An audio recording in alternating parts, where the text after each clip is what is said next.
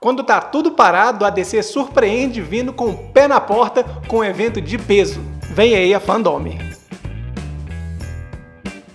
Velho, que bom poder fazer um vídeo desse falando de um evento que vai trazer muita novidade. E novidade, você já sabe, você vai ter aqui sempre. Já inscreve no canal. Gente, o canal é novo, nós estamos precisando de inscrito. Inscreve no canal para você ter essas notícias cada vez antes e ter cada vez mais notícias. E hoje, mais uma vez, é dia de DC e a DC tá mandando muito bem. Eu já vou bater palma antes de falar que eu já, ó, no dia 22 de agosto, ela vai fazer um evento online, e não mais presencial, vai fazer esse evento online por 24 horas. E ainda tem mais vantagem, porque não basta o evento ser online, ou seja, você pode ver as pessoas, né?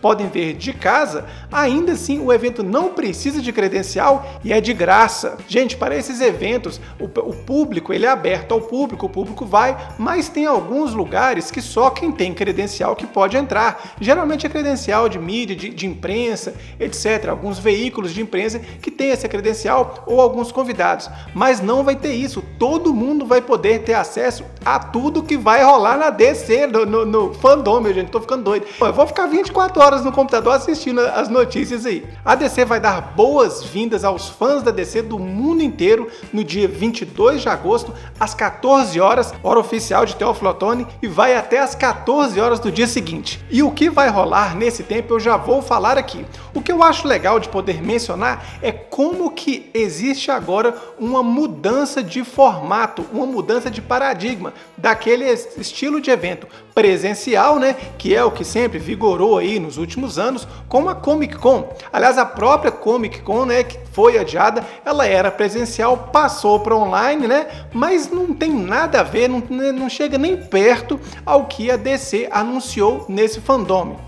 E o que, que vai ser esse fandome? Né? Na verdade, começando pelo nome, é um domo, né? A ideia, né? o conceito é um domo, e dentro desse domo, desse mundo DC, tem vários domos, ou seja, vários universos. Então tem os universos que eles dividiram ali, é uma paródia, uma brincadeira com o multiverso né, da DC. Então cada universo é um foco de interesse dos fãs. Então tem um universo de quadrinhos, um universo de atores e produtores, um universo da parte infantil, ou seja, vai ter tudo lá, tudo relacionado a DC. Eu tô achando show, eu tô adorando falar essas notícias aqui. Já sobre as notícias que vão ter, pensa numa série de TV, vai falar. Pensa nos quadrinhos, vai falar também tudo eles vão falar lá. Das séries e filmes que a gente está esperando aí, vai ter notícia de Aquaman, Batwoman, Doom Patrol, Stargirl, Supergirl, Legends of Tomorrow, tudo. O que você pensar da DC vai ter lá. E principalmente também, pelo que eu, tô, que eu também tô bastante ansioso, o notícias do Snyder Cut.